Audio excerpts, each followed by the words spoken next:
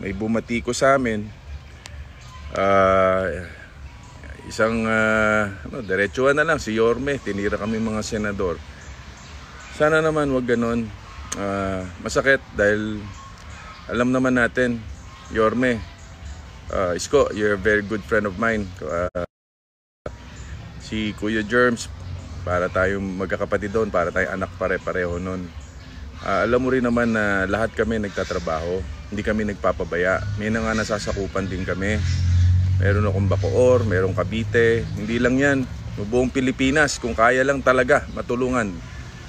Gagawin namin, pero syempre, very limited din. Katulad yan, na quarantine pa kami ilang beses ako. This is my second time. Good thing, nakalabas na rin ako ngayon. Pero kahit na naka-quarantine ako, patuloy ang movement ko sa paggalaw, pagtulong sa mga sa mga local government like Rizal, paano natin matutugunan yung problema rin nila sa mga bigas, at least yun na natulungan natin sa NFA. Uh, talagang mahirap din, nagkakaubusan din ng bigas. Kaya, ayan, talagang, ito, problema talaga ng executive, legislative, kumbaga lahat ito. Kaya yung banat sa amin ni, ni, ni Yorme, Mayor Isko, wag naman, wag ganun, tulungan tayo. Hindi to ang panahon ng uh, pagbatikos. Huwag mo kaming personalin. Ka ikaw, you're part of the executive branch. Kami, legislative branch. Ito yung, uh, kumbaga, three branches of government.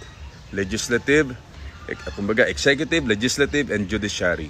Kayo sa ekotibo, kayo mag-implement yung mga naipasa namin, kat katulad ng Bayanihan Act. Yun ay, kumbaga, yung 275 billion para sa mga kababayan natin na mag implement naman ay kayo, mga executive sa pangunguna ng ating mahal na Pangulo.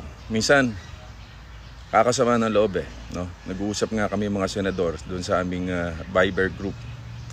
Saktan kami lahat dahil unfair yung para sa amin. Dahil nung pumasok pa kami kahit na alam natin delikado, ilan na nga yung na nagkasakit yun ang nitong uh, COVID-19 na to, nitong coronavirus na naapektuhan mga senador.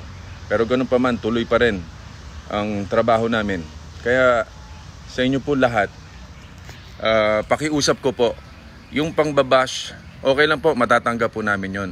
Pero, pero ito po, sa oras na ito, ang kailangan ay matugunan natin yung pangangailangan ng ating mga kababayan. Hindi tayo dapat mag-upakan. Hindi tayo dapat magsiraan.